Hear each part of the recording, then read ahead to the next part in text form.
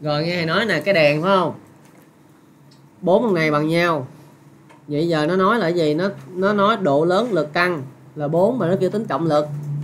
Vậy bây giờ em phải tính cái đoạn này đi. Tính cái đoạn SO nè. Nếu em tính được cái lực SO em đem nhân 4 là ra được trọng lực. Tại vì tổng hợp lực giữa bốn cái lực căng này nó ra được một cái vector dài thòn lòn tú dưới này luôn nè. Hiểu không? Mà cái vector này, nó sẽ bằng 4 lần cái vector màu đỏ. Có nghĩa là tính được màu đỏ là sẽ tính được màu xanh. Vậy giờ tính màu đỏ nha. Rồi, em có cái lực này là mấy? 4 niu đúng không? Góc này là nhiêu? 60 được không?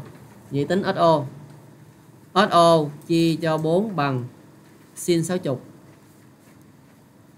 Y tại sao là sin? Tại cái đoạn SO đấy nó là đối của 60 còn cái đoạn SC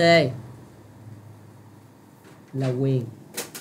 Đối chia quyền là sin cho nên SO là bằng 4 nhân sin 60 là nhiêu?